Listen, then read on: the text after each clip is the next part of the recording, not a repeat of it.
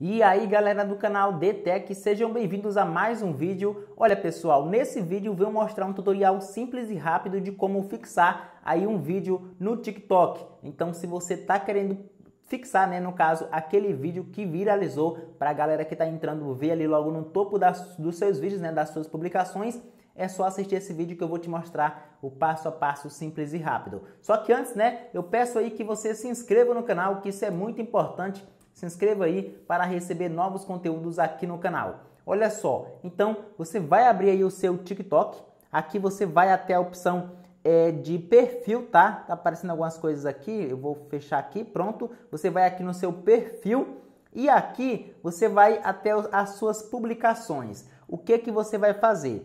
Você vai lá na sua publicação, aqui você tem aqui os três pontinhos, tá? Aí você vai no vídeo que você quer no caso, né? Deixa eu escolher esse aqui. Então, vou aqui nos três pontinhos e aqui vai ter a opção de fixar, tá? Olha só, quando eu clico em fixar, automaticamente ele já vai ser jogado lá para o topo e vai aparecer o nome fixado ao, a, acima do vídeo, tá bom? Então, é assim que você fixa um vídeo aqui no TikTok. Lembrando que você pode fixar até três vídeos, tá? Então, pessoal, é esse aqui no caso foi o tutorial. Se gostou, Deixa o like aí pra gente, tá? Deixa o like que isso é muito importante. Qualquer dúvida é só deixar o seu comentário que eu respondo praticamente todo mundo. Então é isso, grande abraço e até o próximo vídeo.